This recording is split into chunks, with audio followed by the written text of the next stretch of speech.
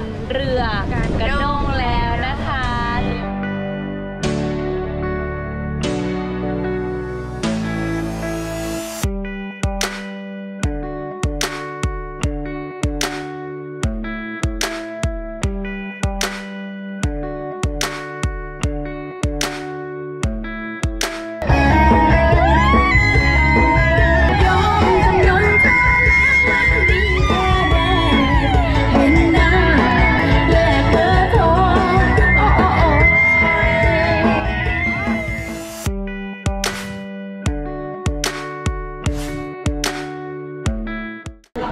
เป็นวัดหินอ่อน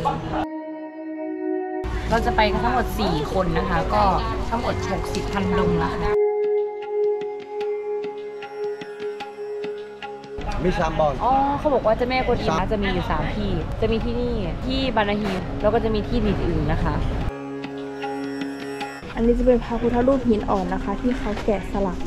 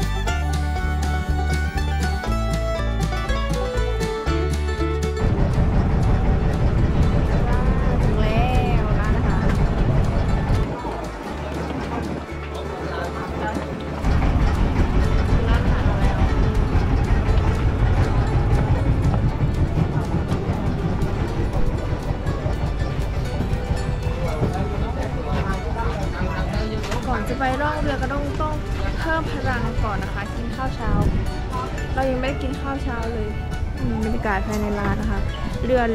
ร้านอาหารริมฝั่งแม่น้ำบรรยากาศดีสุดๆ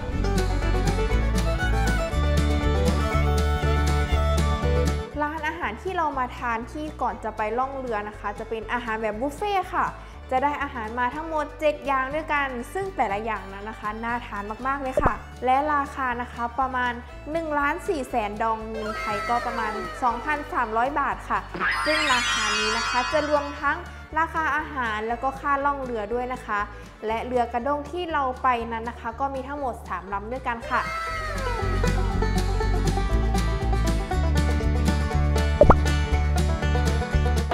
โอเคค่ะ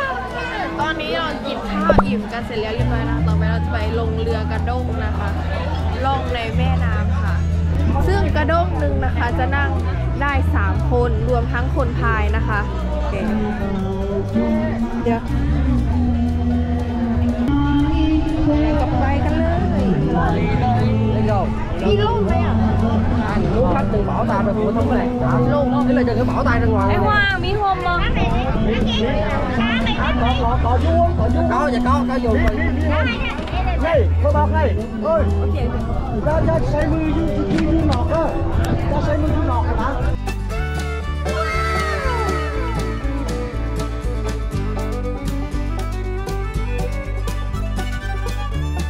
ตอนนี้นะคะเราก็อยู่บนเรือกระด้ง จะเรียกว่าบัสเกอร์โบนนะคะนี่ซึ่งเรือตัวนี้นะคะ เขาจะนั่งได้3คนรวมทั้งคนพายนะคะใช่ค่ะคืออ่าถ้าเป็นนักท่องเที่ยวจะนั่งได้สองคนเหมือนยิ้มกับอายนะคะ แล้วก็ถ้ารวมคนพายด้วยก็จะเป็นสามประมาณนี้เลยนะคะนี่ก็จะล่องไปตามแม่น้ำนะคะตามสายน้ำร้อนมากเดี๋ยวให้ดูด้านข้างนะ นี้นะคะจะเป็นสวนมะพร้าวนะคะ คือใหญ่มากๆเลยค่ะ อาชีพของคนที่นี่นะคะ นอกจากเขาจะทำเกษตรกรแล้วนะคะ เขาก็ยังจะมีเป็นแหล่งท่องเที่ยวนะคะนี่เดียพายเรือกระด้งนะคะ ก็เป็นที่ท่องเที่ยวแลนด์มาร์คของเวียดนามอีกที่หนึ่งนะคะ เป็นสัญลักษณ์สำคัญของเวียดนามด้วยนะคะ ใครที่มาก็ต้องหนึ่ง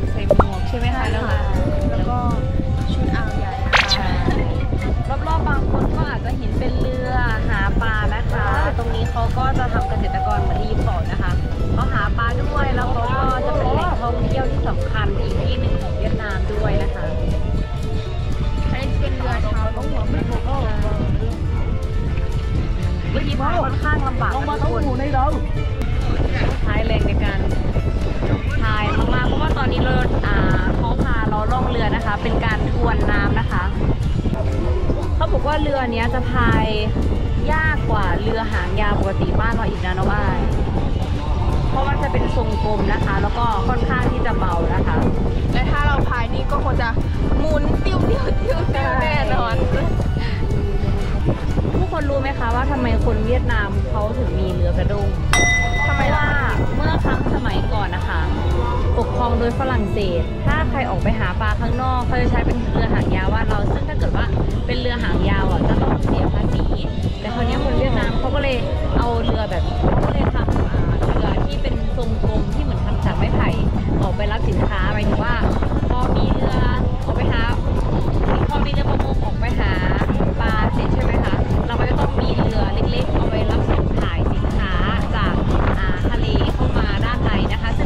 เป็นเรือหางยาว แต่ที่นี่เขาจะใช้เป็นเรือกระด้งนะคะ ซึ่งเรือกระด้งเนี่ยจะไม่เสียภาษีใครที่ใช้เรือหางยาวจะเสียภาษี แล้วหลังจากนั้นมาเสร็จปุ๊บใช่ไหมคะคนเวียดนามเขาก็เลยนิยมใช้เป็นเรือกระด้งอะในการแบบขนถ่ายสินค้า แล้วรู้ไหมคะว่าเรือกระด้งรับน้ำหนักได้มากถึง 1 ตันเลยนะน้องอายโอ้โหใช่หนึ่งตันก็คือหนึ่งร้อยกิโลร้อยพันพันพันหนึ่งพันกิโลเลยนะคะคือเยอะมาก แล้วก็ไม่ต้องกลัวนะคะว่าอ่าวัสดุที่เรานั่ง หรือว่าเรือกระด้งที่เรานั่งที่เป็นจากไม้ไผ่นี้เขาจะโดนน้ำแล้วแบบน้ำจะรั่วเข้ามาไหมอะไรอย่างเงี้ยค่ะเขาจะทาอารมณ์ว่าเขาจะทาเคลือบกันน้ำอีกทีหนึ่งเพื่อไม่ให้เหมือนกับแบบเป็นสีน้ำมันเคลือบนะคะแล้วก็แต่งลวดลายโดยรอบของเรือกระด้งนะคะใช่ค่ะว้าวนี่เขามีหวานแหให้เราดูด้วยนะคะ เยอะมากเลย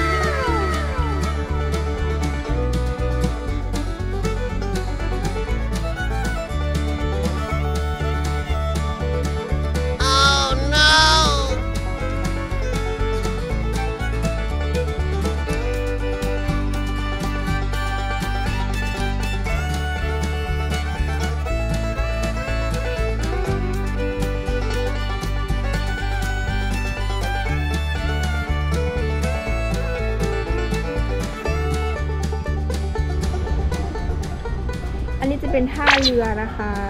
ท่าเรือขึ้นจากกระด้งนะคะนี่เราก็ได้ล่องเรือในกระด้งเสร็จแล้วเรียบร้อยนะคะบรรยากาศสวยมากๆเลยค่ะ นี่นี่นี่นี่เขาจะมีมาเป็นขบวนกันแบบนี้เลยนะคะบรรยากาศรอบๆจะเป็นมะพร้าวน้ำนะคะ ถ้าเปรียบแบบบ้านเราเป็นป่าชายเลนนะคะโอเคนี่ไงมาแล้ว ต่อไปเราก็จะเดินทางกันต่อนะคะสำหรับเรือกระด้งที่นี่นะคะ อายขึ้นกับทางร้านอาหารนะคะ จะได้ราคาถูกกว่าค่ะ ถ้าเขาจะมีร้านอาหารอยู่ริมน้ำนะคะ แล้วก็จะเป็นเหมากับ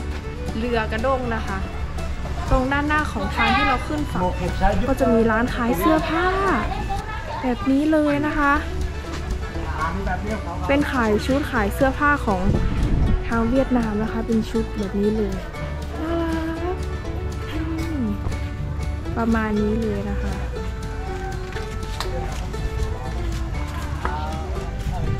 อันนี้เขาเรียกชุดอ้าวใหญ่นะคะสวยจัง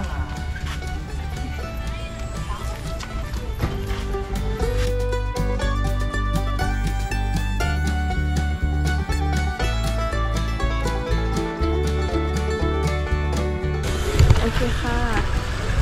ต่อไปเราจะเดินทางกันต่อนะคะหลังจากที่เราล่องเรือกระด้งเสร็จแล้วค่ะเราก็จะเดินทางกันต่อค่ะ เดินเหรอโอ เคเราก็จะเดินไปนะคะ ตอนกลับตอนเข้ามาขี่รถพี่เอาไปหรือยังตอนตอนเข้ามาขี่รถตอนจะกลับต้องเดินนะคะระยะทางก็ไกลอยู่โอเค ถ้าใครมาเที่ยวเวียดนามนะคะ อย่าลืม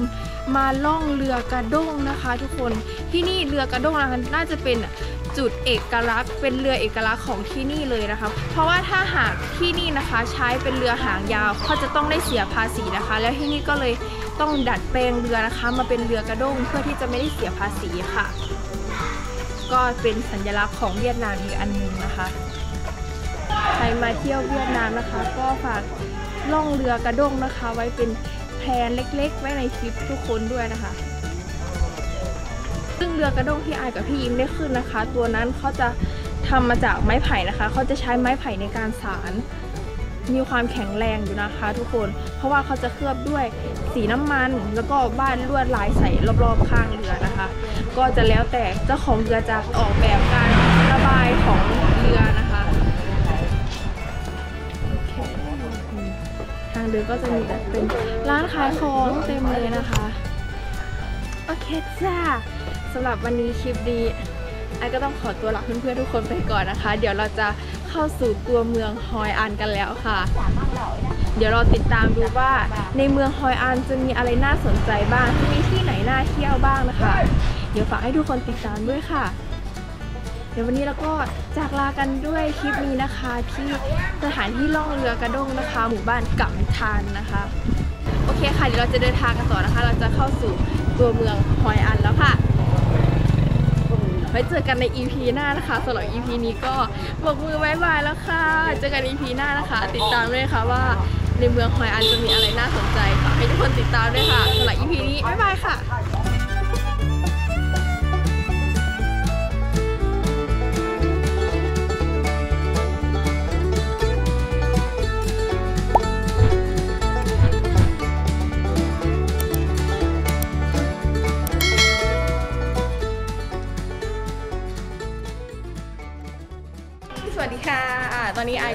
อกจากโรงแรมนะคะ เราได้โรงแรมพักแล้วนะคะ Dory Hotel นะคะ